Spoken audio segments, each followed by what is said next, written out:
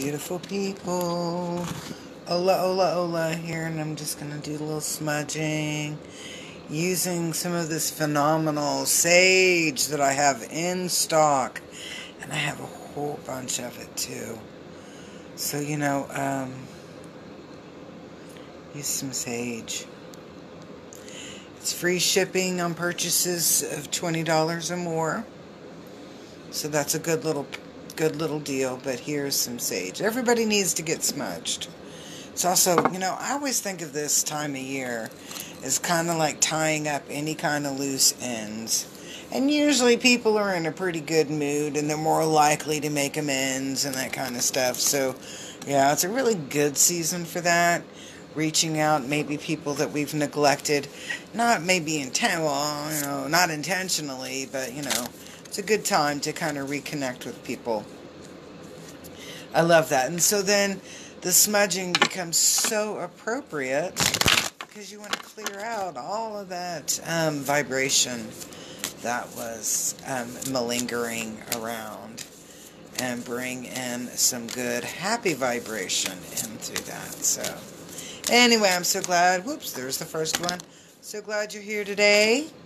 It is Friday. I have a Reiki 1 class on Sunday at 1 p.m. here in my sacred spa sacred space studio. I didn't want to like lose track over which the order these come in.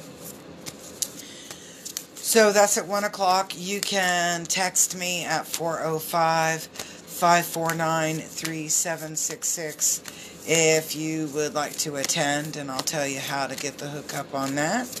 Uh, and then we have an angel class posted for January, and it's actually on a really good high energy weekend. So that is a really interesting, fun class. Work with your angels, and then you also get certified to do angel healing work on other people as well, professionally. Okay, alright, so, okay, and, okay, one, two, three, four, five. Okay, so we got five cards. Let me bend down and get this. Don't go away. Um, and, okay, alright, so, uh, interesting. I love the word interesting. Makes you wonder, what the hell does she mean by interesting? But we do have a really kind of cool little energy coming in. So without further ado, let's take a look at the brew coming in. And we're starting out with the wise one. And it's about growing within the current situation. So what this is indicative is that maybe the situation isn't going to change so much, but we are going to be the one changing within that situation. So it's about a, a, a, difference of perspective, a difference in how we connect and how we look at how things are going in our life. So I like this energy because sometimes we get stuck in a rut. You know, it's kind of like we only see what we want to see, and we become very narrow, fo- you know, narrow. I don't want to say narrow-minded, but narrow in focus, and we really don't look at things within the big picture. So when I see this card coming in in this position, it's telling me the message that I'm getting in here is that your situation really isn't going to change, but you're going to start seeing it from a different perspective. And that means that you're going to be working through that and growing through that in a different direction. Maybe something that you hadn't quite anticipated. So this is the energy coming in, and let's take a look at what our obstacle is. Ah, our obstacle has to do with confronting our fears. And I'm going to say it like this. Sometimes what we're really looking at here is that our fears are going to be smack right in our face and out on the table, and everybody's going to be able to see what our fear is. They're going to be able to see what our fear is just as much as that we do and we're all kind of like looking around going, does she see what we see? Do we see what she sees? You know, hmm. So things becoming very apparent. And I'm going to say it like this our weaknesses, our deficits. However, you know, when we have really good people, mentors, um, support group, support people that are in our lives, they're going to help us. They are going to help us with using our strengths and converting our deficits and weaknesses into a strength. So even though this is an, in the obstacle position of my five card reading, it's really not that bad of an obstacle. It's more of a hey, um, like let's start looking at the reality of things and let's do better. Let's move it in a better direction. That's the message that I'm really getting when I see this, and it's in conjunction with where we started with my old granny here, the wise one who's teaching us to look at things from a different perspective. Alrighty, so now let's take a look at what our help is. And our help is the mountains, and it talks about standing your ground.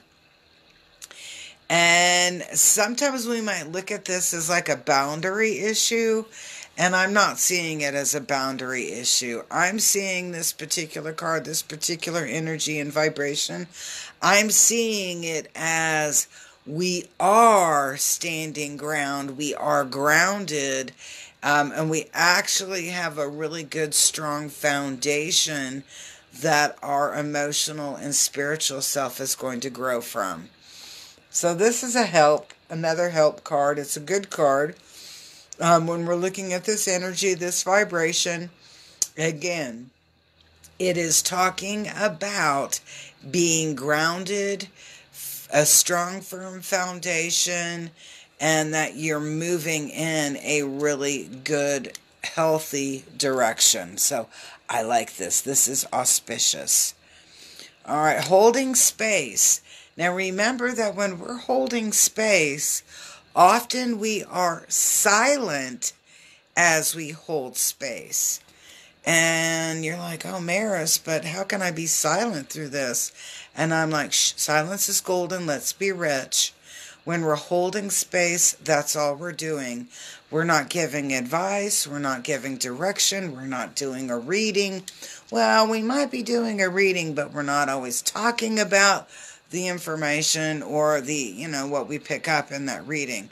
And I'm going to say, I read people all the time, and it's not like I like wake up and go, oh, I'm going to read this.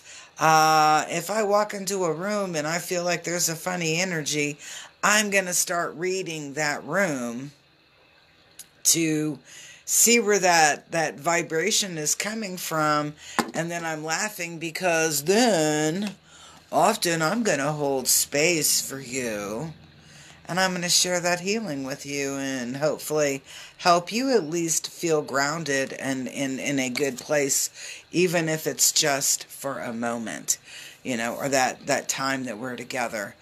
Um, so this is about holding space again, and it's about being observant, looking around, not giving advice, not giving direction solicited or not. It's just about let's just hold space right now. So um, I think that that's a very important card because it teaches us some patience in working through. Because some things we don't need to give all of our attention or all of our energy to. We just need to hold space for that. And maybe just for like a little bit of time. All right, so let's take a look and see what the next card is. Where oh, that was the next card. That was the last card, and so I guess that uh, that Shield Maiden, and it's talking about making plans and focus. Uh, and I laugh because what are we doing? We're coming up to the end of the year, and what do we do at the end of the year?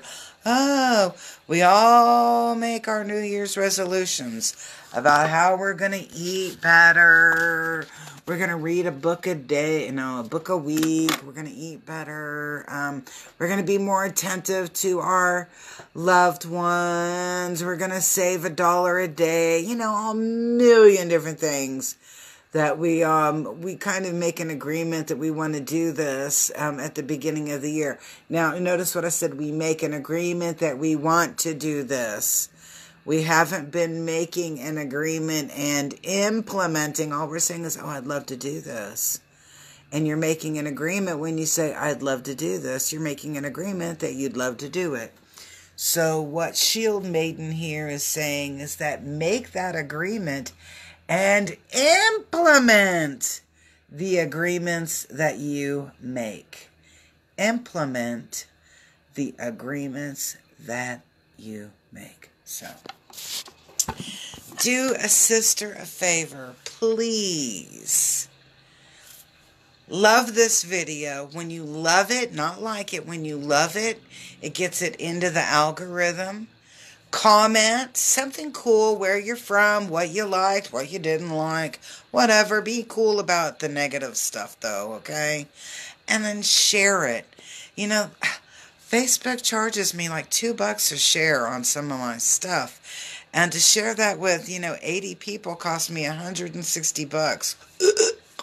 You know um, i'd rather be doing something else with the 160 bucks than you know, just I, am going to keep it real. Yeah. Um, it can be really crazy when you're trying to advertise or boost a post on Facebook. So all I ask is that you guys love it, comment, and share. And hook a sister up. Peace, love, and harmony. Have a great day.